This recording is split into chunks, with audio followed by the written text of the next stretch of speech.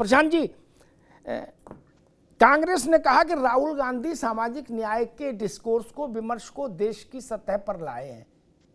और मैं हैरान हूँ कि पेरियार से लेके करुणानिधि तक इस देश में कब से लोग हो गए? कर्पूरी ठाकुर और लोहिया जब नारा दिया था पिछला पामे सौ में साठ संसोपा में ने बांधी गांठ पिछड़े पामे सौ में साठ, तब राहुल गांधी का जन्म हुआ होगा।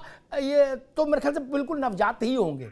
क्या? लेकिन कांग्रेस तो इतनी आत्ममुग्ध है उसने करना देश में सामाजिक न्याय का अर्थ ही राहुल गांधी ने बताया भाई। अब तो बड़ा समस्या हो जाएगी। लोहिया से लेके, अंबेडकर से लेके, कर्पूरी से लेके तमाम लोग। विश्वनाथ प्रताप, बताइए। उनसे पहले मंडल को लाया तो नहीं? और एक बात मैं कह दू, बसपा यहाँ नहीं है, लेकिन मुझे कहना चाहिए।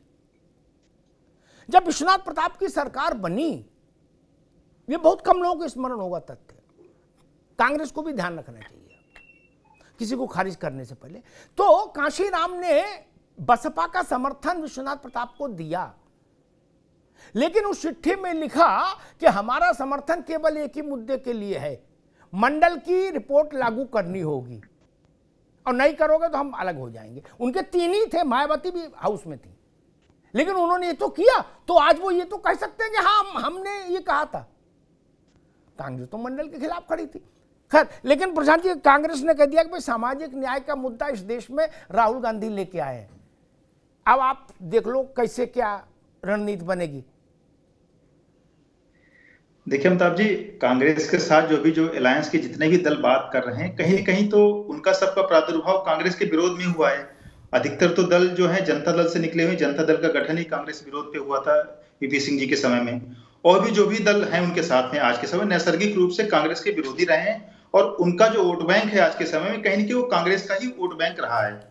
उन्नीस सौ नवासी मुलायम सिंह यादव जी उत्तर प्रदेश के मुख्यमंत्री बने, उसके पहले तक कांग्रेस की सत्ता थी। वो बने, उसके बाद से कांग्रेस धीरे धीरे कमज़ोर होती चलेगी, नवासी के बाद से कांग्रेस यहाँ पर उत्तर प्रदेश तो नहीं आई। बसपा भी मज़बूत हुई, बसपा की रही, सपा की रही सरकारें, हमारी भी इक्यानवे बनी, उसके बाद भी सरकारें बनी।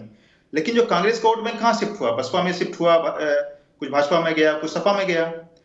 और जैसे, और कांग्रेस हालात आज उत्तर प्रदेश में सबको पता है। तो जब कांग्रेस को भी पता है कि हम यही मुद्दा उठाएँगे अगर अपना वोट बैंक कहीं से वापस लाने की अगर सोच रहे हैं तो लॉस किसका होगा? समाजवादी पार्टी को होगा। बसपा का खींचेगी वोट बैंक।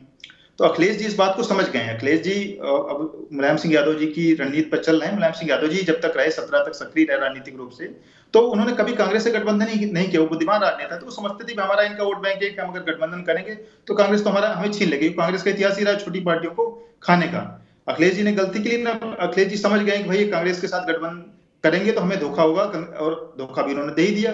एक बजे तक उन्होंने उनको बिठा के रखा मध्य प्रदेश में, फिर अगले दिन सीटें घोषित कर दी। बार बार अखिलेश जी को पीड़ा उनकी, अगर स्पीचेस सुन रहे हैं, मध्य प्रदेश में पीड़ा ज़ाहिर हो रही है और पीड़ा उनकी जायज़ भी है कि किसी को इस तरह आप रात में बिठा करके धोखा दे रहे हैं तो ये गलत बात है तो आप पहले इनको डिनाई कर देते। तो अब राहुल गांधी जी को अब समझ में आया कि अगर हमें उत्तर उत्तर प्रदेश में मज़बूत करना है तो सपा का जो कोर मुद्दा है, वो हमें खींचना पड़ेगा। तो ये लड़ाई, मैं अमिताभ जी समझता हूँ, कोई भारतीय जनता पार्टी को इसमें समझता नहीं, ये लड़ाई समाजवादी पार्टी और कांग्रेस की आपस की है।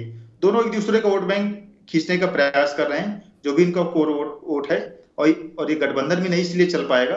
हम पहले से कर रहे हैं इसलिए अभी तक ना अभी तक विधानसभा भी गठबंधन नहीं हो पाया। लोकसभा भी नहीं हो पाएगा। भले कितना ही कहते हैं कि हम गठबंधन कर रहे हैं लोकसभा में समाजवादी पार्टी ने रविदास मल्होत्रा जी को तो घोषित कर दिया है। जनता पार्टी पूरा जनाधार न खिसक जाए। एक मिनट पार्टी जी जी ठीक आप प्रशांत जी। गौतम गौतम राणे में एक बात समझना जी चाह रहा था कि 24 का चुनाव दिल्ली की गद्दी के लिए है। कोई हो नीतीश बाबू हो लालू प्रसाद हो उनका बेटा तेजस्वी हो अखिलेश यादव हो बहन जी हो ममता बनर्जी हो उन सबका स्टेक राज्य पर है। क्या? सब जानते हम तो प्रधानमंत्री बन नहीं रहे। क्या? अपने घर के गुल्लक से पैसा निकाल के अपनी ज़मीन गिरवी रख के कांग्रेस के लिए लड़े? क्यों लड़े भाई? सत्ताईस में ताकत आजमाए बसपा और सपा। ये सपाई की बात कर ले, बसपा अलायंस से बाहर इसलिए, सपा सत्ताईस में अपनी ऊर्जा लगाए तो उसको कुछ हानि लाभ भी हो सकता है। चौबीस में ऊर्जा लगा के उसको क्या लाभ? जो सांसद तीन रहे या छह हो जाए? नहीं।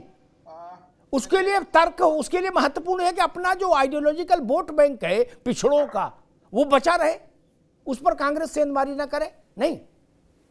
जी अमिताभ जी, अभी हमारे दोस्त जोशी जी कह रहे थे कि बीजेपी को अगर कोई डेंट कर सकता है या बड़ा नुकसान कर सकता है उत्तर प्रदेश में तो वो समाजवादी पार्टी कर सकती है। और जैसा कि आप कह रहे थे कि बहुत बड़ा एक वोटों का चैन शेड्यूल कास्ट का भी और ओबीसी का भी बीजेपी के साथ गया तो आप जैसा विद्वान, पत्रकार बेहतर जानता है कि सबके अपने परंपरागत वोट करीब 20 पहले 25 परसेंट वोट हुआ करता था जो न्यूट्रल वोट हुआ करता था और अब वो 20 परसेंट पे करीब करीब आ गया है।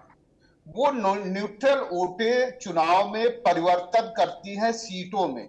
किसी की सीटें घट जाती हैं किसी की बढ़ जाती है। और जैसा हमारे दोस्त कह रहे थे कि 2022 में जब चुनाव हो रहा था वो न्यूट्रल वोटें ज़्यादातर समाजवादी पार्टी के पक्ष में गई थी।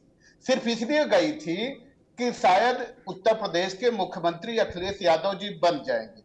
और आपने शायद पढ़ा भी होगा, हम, हमने पहले ही आर्टिकल लिखा था 2021 दिसंबर में कि लगता है टीपू के हाथ से सल्तनत छिटक गई है और किसी टापू में अटक गई क्योंकि जिस तरह से ये अपना अपना चुनाव लड़ रहे थे उससे ये लग रहा था कहीं इन्होंने बीजेपी बीजेपी का बीजेपी से सुपारी तो नहीं ले रखी है जिताने के लिए।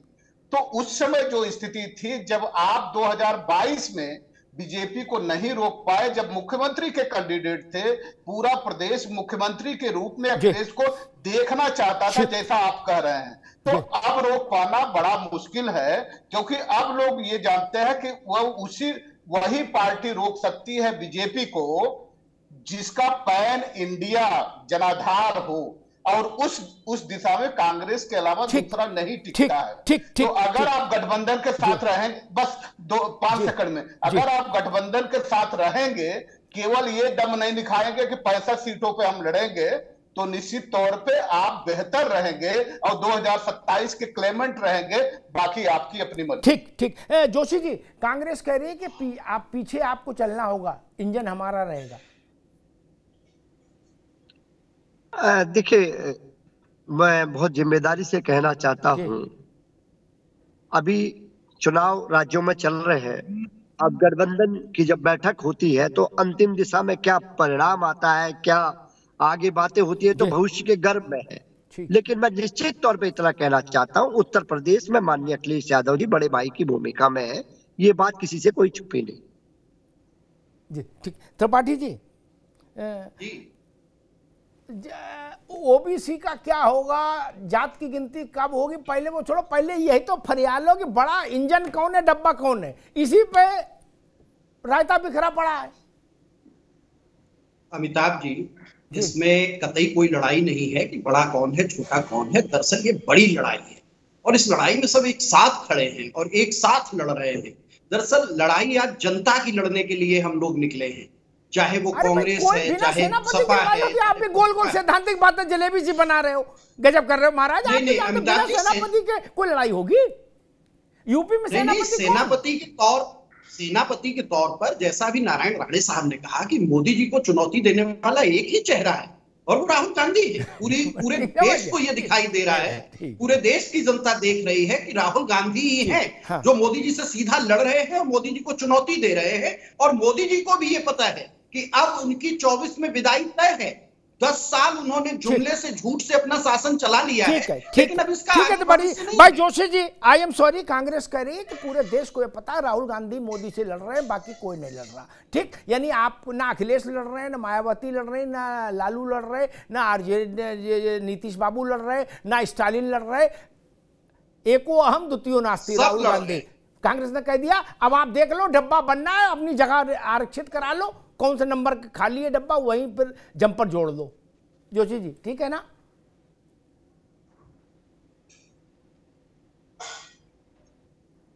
जी अच्छा चलिए, जोशी जी तक आवाज़ नहीं जा रही है। ऐसी आवाज़ ना जाए, सोई ठीक है। अब ऐसे में क्या जवाब दोगे? ये तो रायता, अजय राय अच्छे से फैलाए हैं। वो कोई, मैं कोई दब गौतम राणे साहब मंद मंद मुस्कारा लेकिन मैं कोई दबी छुपी बात तो कह नहीं रहा हूँ। भाई आखिर गौतम राणे ने अभी सुपारी की बात की। मुझे सुपारी से कत्था चूना एक याद आ गया। समाजवादी वाले कह रहे कि भैया, अजय राय ने सुपारी ली है भाजपा से। अब बताइए, क्या तय करें, किसने सुपारी ली है? प्रशांत पटेल जी, आपकी पार्टी की भी इस कदर पॉपुलरिटी हो गई, माइकल जैक्सन टाइप की। क्या? हर आदमी दूसरे को बता रहा कि भाजपा की बी टीम है। क्या? पवार भाजपा की बी टीम, मायावती भाजपा की बी टीम, अखिलेश यादव भाजपा की बी टीम, अजय राय सुपारी किलर भाजपा के। पूरे देश में आप ही ने एजेंट बना दिए। नहीं, मायावती कहती हैं कि कांग्रेस और बीजेपी एक है, अखिलेश यादव कहते हैं कांग्रेस और बीजेपी एक है, यानी कांग्रेस भी आपकी एजेंट हो गई। मेरे ख्याल से सीपीआई सीपीएम और माले वगैरह को छोड़ के आपने सबको आई कार्ड बांट दिए क्या? देखिए, अगर अमिताभ जी देखा जाए तो ओरिजिनली तो भारतीय जनता पार्टी, इंदिरा कांग्रेस, बहुजन समाजवादी पार्टी, यही ओरिजिनल पार्टियाँ हैं, या कम्युनिस्ट पार्टियाँ बाकी तो जितने क्षेत्रीय दल कहीं कहीं से कांग्रेस पार्टी से निकले हैं, या कांग्रेस के विरोध उनका गठन हुआ। अभी आम आदमी पार्टी होती तो उस पर भी आरोप लग जाता कि वो भी बी टीम है सी टीम है। तो, बड़ी दुविधा है। अभी यही तय नहीं कर पा रहे हैं। आज स्थिति है कि कौन किसकी बी टीम है और साथ में गलवैया भी करते हैं बैठकें भी करते हैं। पटना में बंगलौर में मुंबई में कि मोदी जी को हरा देंगे। एजेंडा इनका कुछ है नहीं। एजेंडा वो सही कि भाई मोदी जी को हटाना। अपना कोई व्यक्तिगत एजेंडा नहीं है। साथ में सिर्फ़ डबल भी बीच बीच में कर लेते हैं। और अखिलेश जी तो खुल करके बोल रहे हैं जो उनको जो बातें बोल दी थी जो मुलायम सिंह यादव जी बोलते थे वो भी अखिलेश जी भी बोल रहे हैं। ये अच्छी बात है। सच्चाई की बात है। और आप ये देखिए कि मुलायम सिंह यादव जी पर हमने कभी भ्रष्टाचार का आरोप नहीं लगाया। भ्रष्टाचार का आरोप तो कांग्रेस ने लगाया, कांग्रेस ने सीबीआई मुकदमा किया। बेचारों उनको उनको, उनके ऊपर दाग लगा जीवन पे, जो उन्होंने कभी किया नहीं। और भारतीय जनता पार्टी की सरकार है तो उन्होंने सीबीआई मामला, उसको क्लोजर रिपोर्ट दाखिल किए। मुलायम जी के अगेंस्ट जो थी और अखिलेश जी के अगेंस्ट थी। आज वही पार्टी, सपा के साथ जाने की बात कर रही है। सब, सबको सच्चाई समझ में आ गई। जनता इसीलिए इन लोगों को विश्वास नहीं कर रही कि इनकी कथनी में करनी में कुछ और है, कहते कुछ और करते कुछ और है।